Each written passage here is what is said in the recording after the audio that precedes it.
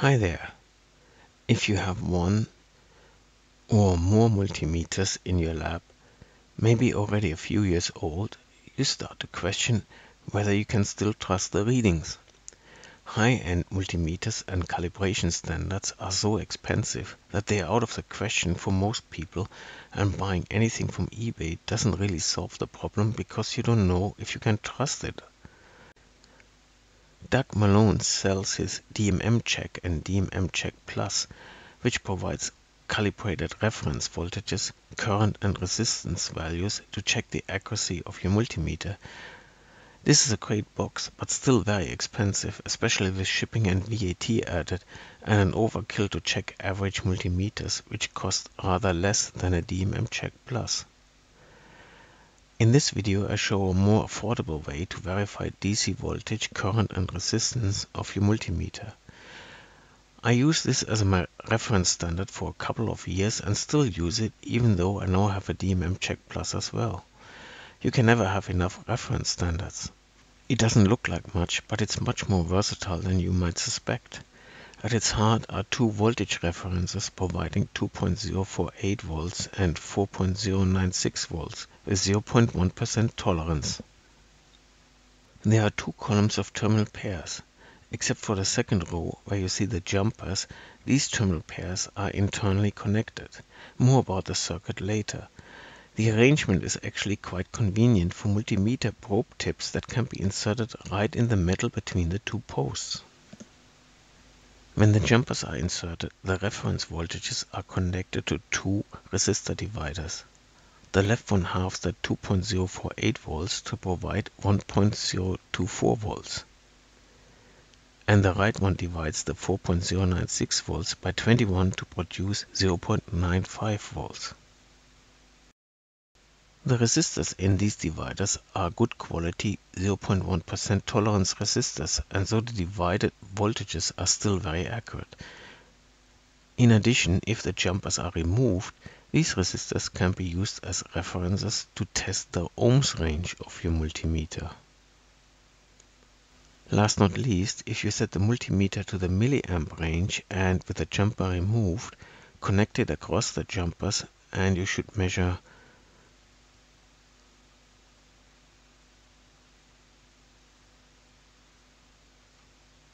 1.024 milliamps on the left side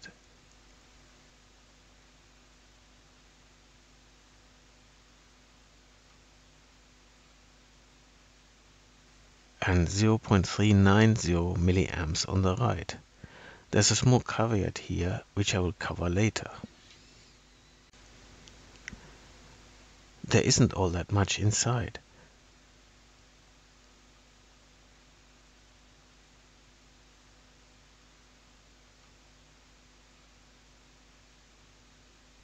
You can see the five resistors, a diode, and the Adafruit LM4040 reference, which is that little PCB. You can buy it ready-made from a variety of sources. Prices and availability vary somewhat, but it's usually less than 10 pounds. Here's a picture of the Adafruit module from their website. Besides the four resistors, it contains two Texas Instruments precision micropower shunt voltage references, which have been trimmed during manufacturing to provide the desired fixed reverse breakdown voltages of 2.048 or 4.096 volts. The A grade means an accuracy of better than 0.1% at 25 degrees Celsius with a drift of only a maximum of 100 parts per million per degree Celsius which means the voltage remains practically constant within normal room temperature ranges. So by itself, the module provides accurate 2.048 volts and 4.096 volts. That's great, but I wanted some intermediate voltages too. I still have some older but functional multimeters that are 2000 counts, as was practical the norm for budget meters. The usual DC range are 2 volts and 20 volts, so even the 2.048 volts will force the use of the 20 volt range with the associated loss of resolution. So I decided to add a voltage divider to 2.048 to get 1.024 volts as well. As for the 4.096 volts, obviously dividing by 2 would be pointless as we already have 2.048. If you follow my channel, you have seen this box before and the eagle eye may have spotted that the divider for the 4.096 volts used to be 11, which results in 0.372 volts. I have since changed this to divide by 21 instead, providing a much more convenient 0.195 volts to test the 200 millivolt ranges of 2000 count meters. Here you see the change was simply adding an additional 1K resistor in parallel to the 1K resistor in the divider for the 4.096 volts. It also adds a new 500 ohm reference value to further improve testing resistance ranges. The tolerance of the resistors adds to the tolerance of the LM4040. So if you use 0.1% resistors, as I recommend, the additional reference voltages will have a tolerance of 0.2%, which is still quite acceptable. Here are some measurements with the best multimeter I have, which is a rather old and slow, but still very accurate 6.5 digit Solartron 7150 Plus. The 4.096 volts output directly from the LM4040.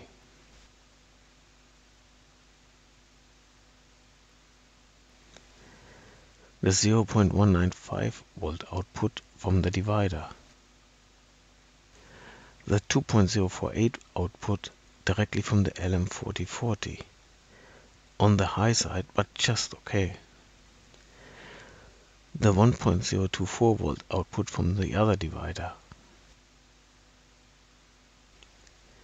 Taking the jumpers out and disconnecting the battery allows using the dividers as reference resistors.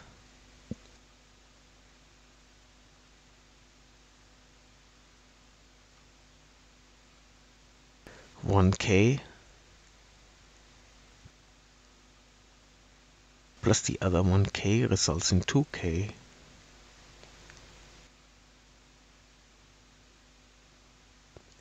The 500 ohm resistor, the 10k resistors,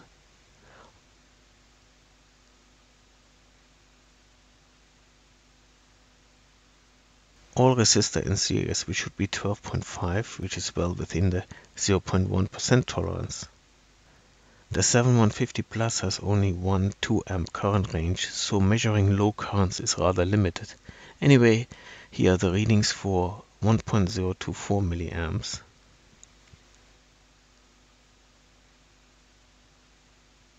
Zero point three nine milliamps. Here's a summary of my measurements. The table shows the nominal values, the tolerance, and based on that, the minimum and maximum values that would still be within the tolerance. So for example, the 1000 ohm resistor of 0.1% tolerance could be anywhere between 999 and 1001 ohm. As it happens, I measured it to be 1000.471 ohms.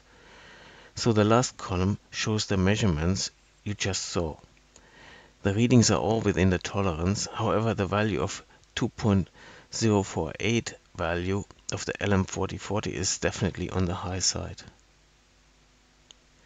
It does not make sense to state an absolute measurement for the current as the value that indicates a correct reading depends on the internal shunt resistor of the multimeter as we shall see in a moment. As you have seen, the accuracy and stability of the reference voltage source is quite good considering its price, so it's important not to spoil the additional voltages by using questionable resistors. You want branded resistors with a datasheet to verify temperature coefficients and tolerances from a proper distributor. Quality 1K and 10K resistors with 0.1 tolerances are easy to get and not that expensive, but usually have 5 or 10 as minimum buy quantities. Buying a few more makes sense in shipping costs and leftovers are usually very usable for lots of other projects. Here's a snapshot of the RS Components site in the UK, while other distributors are of course available. As you see, I searched for through-hole resistors and applied a filter for 1K and 0.1 tolerance. The minimum quantity is shown in those boxes. For example, you get a pack that is 10 of these for 8 pounds 39, that is 84 pennies per resistor, or maybe just 5 of these for 5 pounds, 5 pounds 16. For each offer, there's usually a datasheet with lots of technical data to help you decide which is the best and most economical choice for your application. Connecting additional dividers to the two LM4040 that are on the Adafruit board makes a lot of sense, but only if they don't affect the accuracy of the original reference voltages. The datasheet on the LM4040 chip has a lot of information on calculating the shunt resistor RS and the load resistor RL based on the range of the supply voltage Vs. The key criteria is that the reverse current IQ through the reference must always be above 0.1 mA and never exceed 15 mA.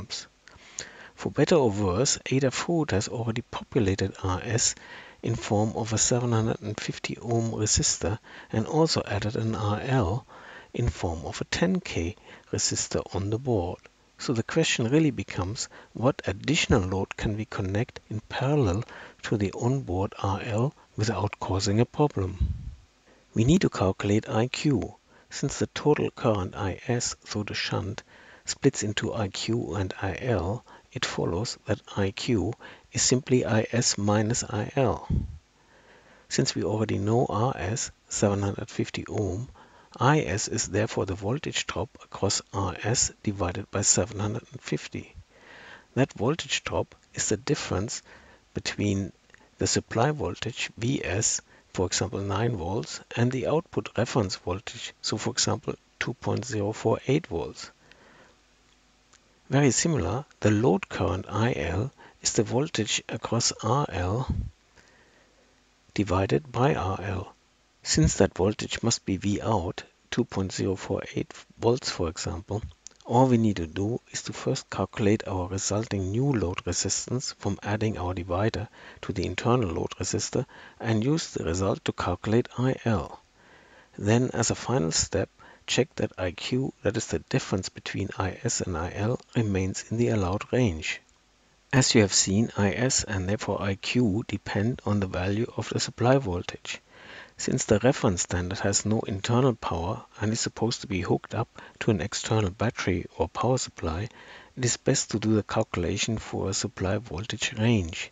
I chose to do 5 volts as a minimum and 12 volts as a maximum supply voltage.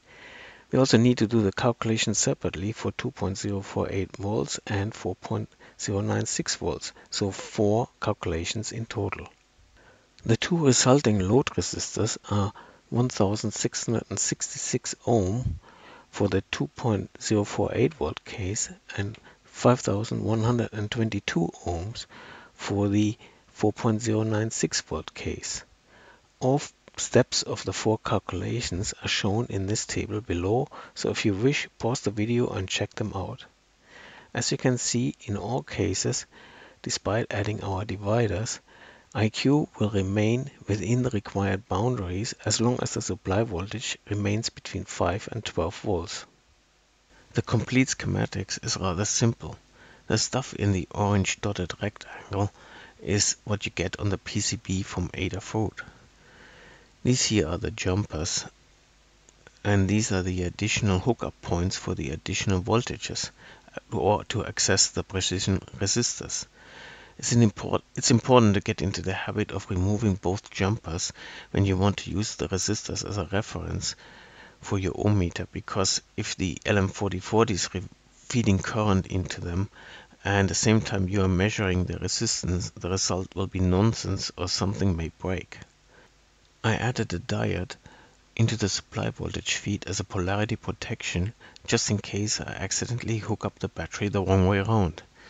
It should not be necessary because the 750 ohm resistors would limit the forward current and the LM4040 should survive, but I rather not test that.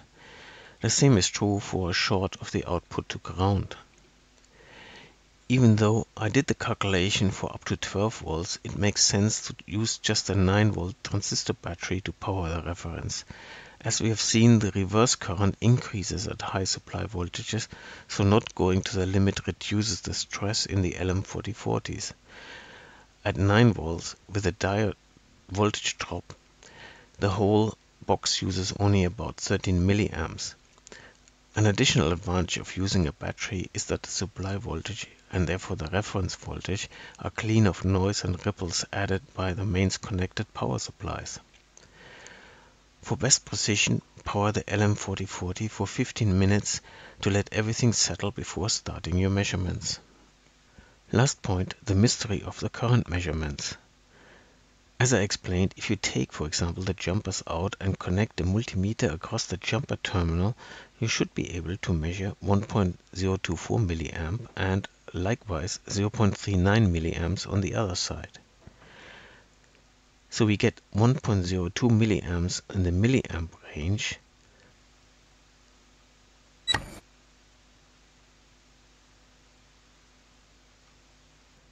but only 0.974 milliamps when using the microamp range.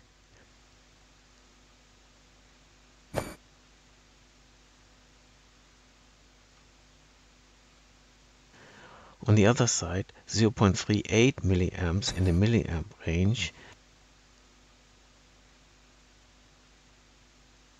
and 0.3861 milliamps in the microamp range. At least that one seems to be consistent. Other multimeters may show even different values. What is going on? The effect is caused by the internal shunt resistance of a multimeter in current mode. While in the amp range, the resistance is usually very low, a few ohms at most or even just fractions of an ohm, it increases a lot in the milliamp or microamp ranges to the extent that you can't ignore it any longer. For example, the Brymen BM235 multimeter in the milliamp range has a resistance of around 2 ohms but 100 ohms in the microamp range. This shunt is in series with a load resistor of the 2K here. In the milliamp range this makes almost no difference and so we read the value that is very close to the expected one but in the microamp range the high resistance of the shunt causes a current drop to 975 milliamps. The same is of course true for the other side, although the effect is much less pronounced because the load resistance is so much higher than the shunt resistance of the multimeter. To be clear, there is nothing wrong here. The multimeter and the references work just fine and within specs. It is simply something you need to be aware of and take into account when measuring. So this multimeter in the microamp range should always read 975 milliamps. If it reads significantly more or less current, something is wrong. This means you need to know the shunt resistance of your multimeter in all applicable ranges to calculate the expected correct value to compare against. Decent manufacturers like Brymen list these in their specs. Others may only show the so-called burden voltage, which indicates how much voltage is lost on the shunt resistance. So for example, in this range, for every microamp flowing, 0.1 millivolt is lost across the shunt. For example, a current of 100 microamps will lose 10 millivolts. Divide 10 millivolts by 100 microamps and you get back your 100 ohm shunt value. What if you don't have the specs or the values are not shown? If you have another multimeter, simply use it to measure the resistance of the multimeter in question, which may not be terribly accurate but gives you a useful figure to calculate if the current readings look reasonable. So far I've found that six different multimeters of brands of varying age and quality have either a few ohms or 100 ohm shunt in this range. While extrapolating from such a limited sample size is dangerous, I would expect that this holds with a lot of more meters out there. So more likely than not, you probably see values of either 1.02 something milliamps or 975 microamps displayed when tested with this box. Okay, in case you got confused how to use the reference box for the various measurements possible, I put together this little chart. This here represents the reference box and its terminals and this box here represents your multimeter. If jumpers are needed to be inserted, they are shown by this dark blue bar. So in all measurements here, the jumpers are needed and in all the others they must be removed. The 9 volt battery is shown here when it's needed, like for these measurements, and in all others it should be removed. The most left column shows how to access the four reference voltages. The middle column and the first item on the right shows how to access the reference resistors. The last two measurements on the right show how to use the reference current measurements. Here's the summary of the specs for this DIY voltage, current and resistance reference. The prices for the components vary somewhat and depending of course how many resistors of each value you buy and what box you use and what kind of terminals. You should be able to get the key components for around 16 pounds or approximately 20 US dollars and find the rest in your spare parts box. For that money you get a very reliable and versatile reference that doesn't need any calibration and gives you at least the confidence that basic DC volts, milliamps as well as resistance measurement in your multimeters are still working correctly. To be clear, this is a reference for the owners of average multimeters, not for those lucky folks that have high-end bench multimeters that laugh at 0.1 and 0.2% tolerances. You can go one step further and start writing down the actual measurements and repeat this every couple of months. I run all my multimeters through such a confidence test about every six months and track the readings in a spreadsheet to see if the readings drift over time. This can give you an indication whether a meter is slowly getting worse and should be replaced soon. I think I will cover this in another video, but for now I hope you found this useful. If so, please give it a thumbs up and thanks for watching.